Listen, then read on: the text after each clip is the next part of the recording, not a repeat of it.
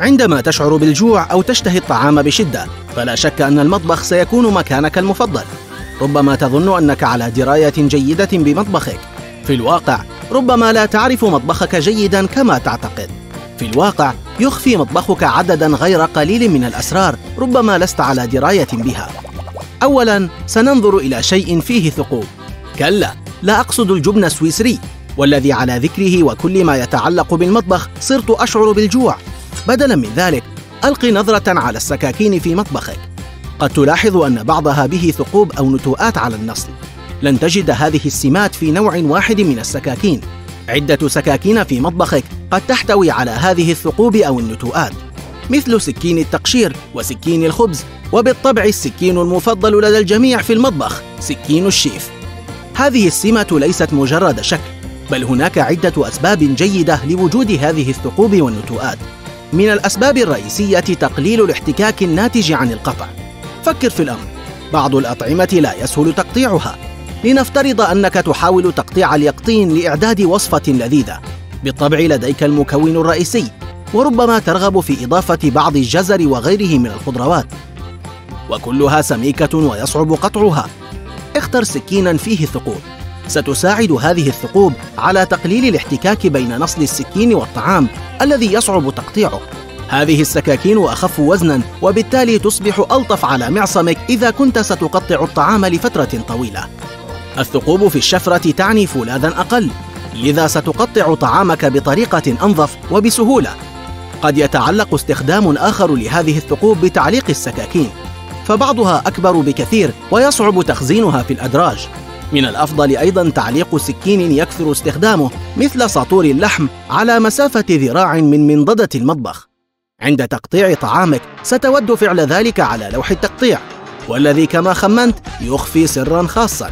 ستلاحظ في معظم ألواح التقطيع وجود فتحة في أعلى اللوح.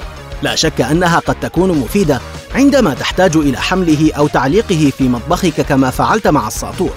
لكن هناك غرض أساسي لهذه الميزة. ربما لم يخطر ببالك من قبل. بمجرد تقطيع الأعشاب والخضروات إلى مكعبات بما تحمله من نكهات لذيذة ستضيفها إلى طبقك اجعل الفتحة الموجودة أعلى لوح التقطيع فوق القدر أو المقلاة أو أيا كان ما ستطهو فيه طعامك. خذ السكين وادفع المكونات برفق من خلال الفتحة لنقل المكونات من على اللوح دون فوضى. جرب هذه الطريقة. المطبخ النظيف هو مطبخ سعيد. آسف. كنت أقطع بعض البصل. لكن هل تعلم أن هناك في الواقع طريقة سرية لتقطيع البصل دون دموع؟ قبل أي شيء لابد أن تعرف أن البصل ليس شريرا وأنه ليس السبب الذي يجعلك تبكي عند تقطيعه. تحتوي قشرة البصل على أحماض أمينية وعند قطعها تنطلق في الهواء المواد الكيميائية الناتجة عن الضرر الذي أحدثته وتصل في النهاية إلى عينيك. أنت بدأت أولاً. أفضل طريقة لمنع انطلاق هذه المواد الكيميائية المسببة للدموع هي تبريد البصل إما بتجميده أو وضعه تحت الماء البارد. في كلتا الحالتين ستتمكن بالتأكيد من تقطيع البصل بعينين جافتين وابتسامة. هذه المياه الجارية جزء من السر التالي في مطبخك عندما يتعين علينا ملء عبوات مكعبات الثلج يبدو من المستحيل تقريبا إعادة ملء عبوات مكعبات الثلج دون سكب الماء هنا وهناك.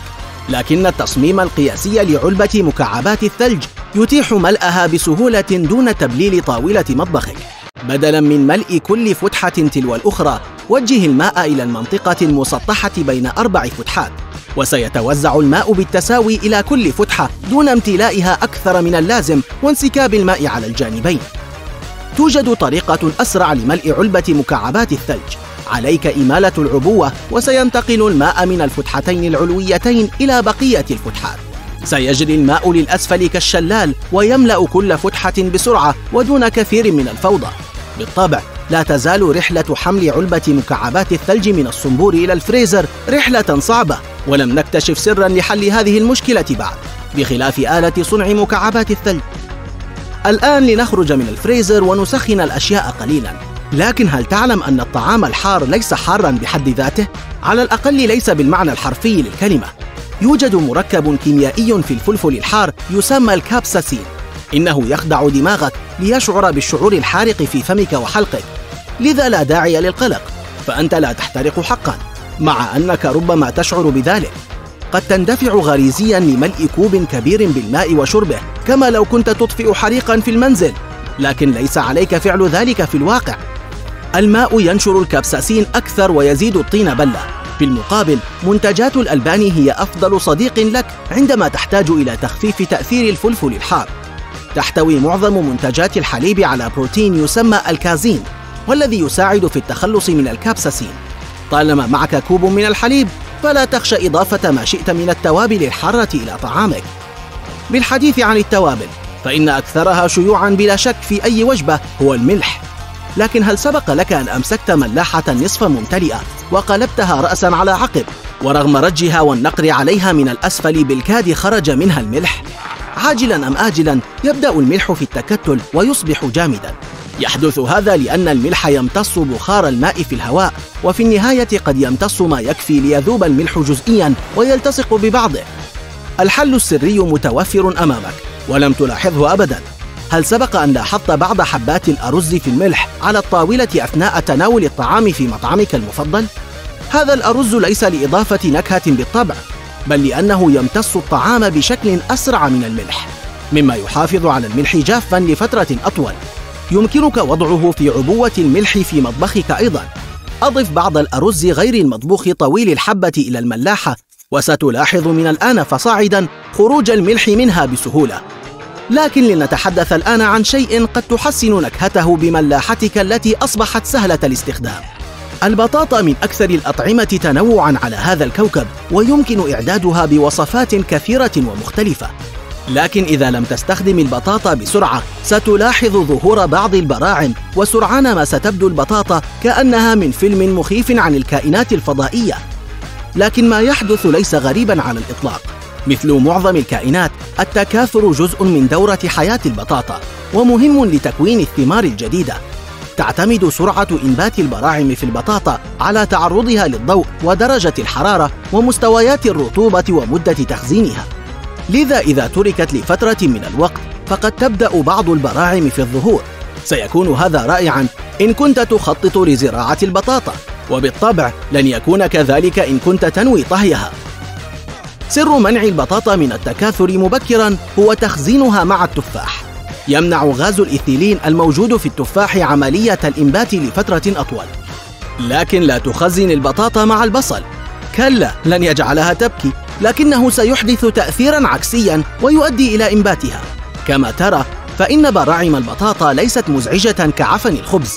عندما يكون الخبز طريا فإن إحدى استخداماته الأشهر هي تحميصه.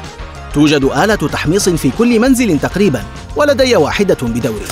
قد يفاجئك معرفة أنه من المحتمل وجود جزء سري داخل آلة التحميص. قد لا يكون ما بداخلها مثيرا لكنه ميزة مهمة لا يعرف الكثيرون أنها موجودة. إنها صينية جمع الفتات. كما يوحي اسمها يتجمع فيها كل فتات الخبز المحمص. للعثور على هذه الميزة الخفية عليك البحث عنها بين الجزء العلوي والسفلي من آلة التحميص. من الضروري الحفاظ على هذه الصينية نظيفة فهي لا تحافظ على نظافة مطبخك فحسب بل تقلل أيضا من خطر احتراق آلة التحميص. كانت هذه بعض أسرار المطبخ التي أزحنا عنها الستار والتي نراهن أنك لم تعرفها من قبل. الآن أصبحت جاهزا للتعرف على مطبخك من منظور جديد وإعداد وجبة مع وضع كل هذه الأسرار المفيدة في الاعتبار. أجل أشعر بالجوع الآن.